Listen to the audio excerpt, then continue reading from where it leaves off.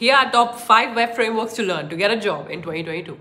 Number 5. Ruby on Rails. 10 years ago, Ruby on Rails was the rage, and still there are quite a few jobs that require it as a skill. Number 4. Spring Framework. It is used to build enterprise web applications in Java. And Spring is in demand in startups, service, and product based companies. Number 3. Vue and Svelte.js. Both are popular JavaScript frameworks.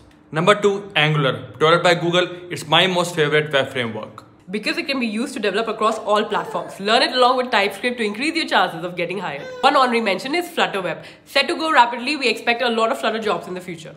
And the winner is React.js.